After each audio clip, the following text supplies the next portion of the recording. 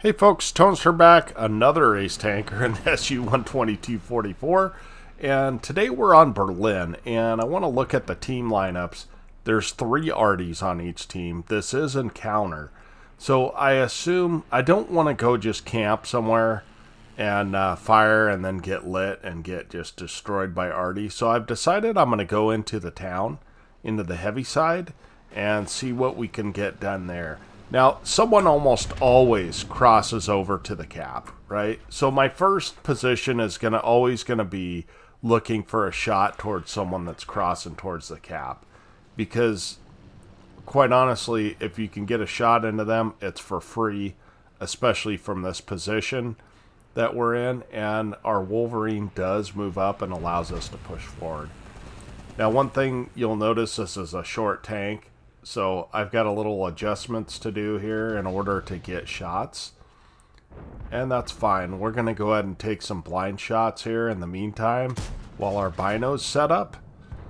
And we're just going to sit here and wait for someone to cross. And here's our first customer. We're able to hit this Firefly. The thing about the Firefly is that it's one, it's slow. And two is, as we're trying to get a shot that we're never going to hit and two is that uh, it's got a pretty good gun. You know, um, the turret is kind of okay on it, but to cross the middle like that is just absolute suicide. So it tells me that person probably is not the greatest of players, right? And so we're we're looking, we're thinking of taking some more blind shots, um, but we're kind of waiting to see if anyone else pushes into the cap. But Nobody does, so we're going to go ahead and turn our attention towards the heavy. It's 0 to 2 right now. And this, uh, I call it a Wolverine. It's the M10 RBFM or whatever it's called. He kind of makes a mistake, right? And with this thing behind you, you're going to die real quick. So I hear the fire from the KV2, right? He's fired. So I know I've got 20 seconds at least. And and so instead of firing in first person because that wall was in the way and I wanted to make sure and hit him, I decided I was going to fire that in third person. Now we're coming up here, we're thinking maybe we can help get some shots on the OI.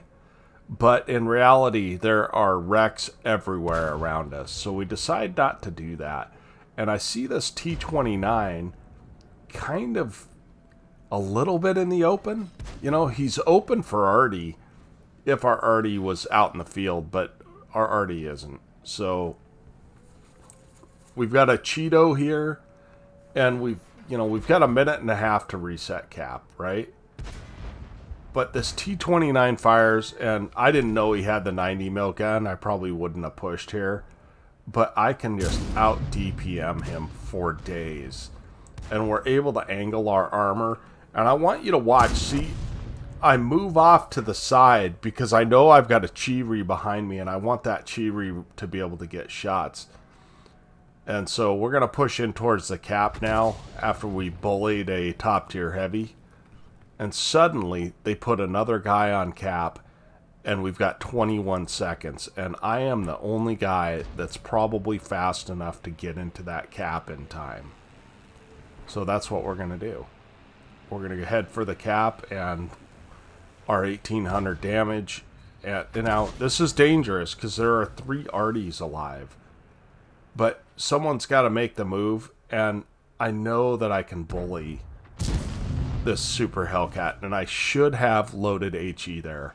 I should have loaded HE on my way there at, eh, because we've low rolled and now this guy has survived.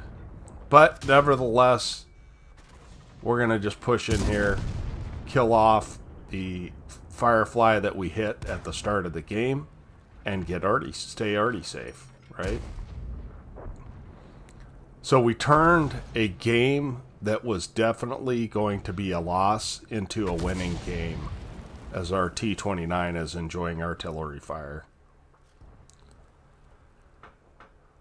Okay, so there's not much left. There's just the three Arties and a T67, and I happen to know that because there he is, right? So with the T67, I'm out in the open for Artie, right? So most of the time you would not want to um, put your tank to where the enemy can see all of it. But my advantage is that he's going to very be very unlikely to penetrate me.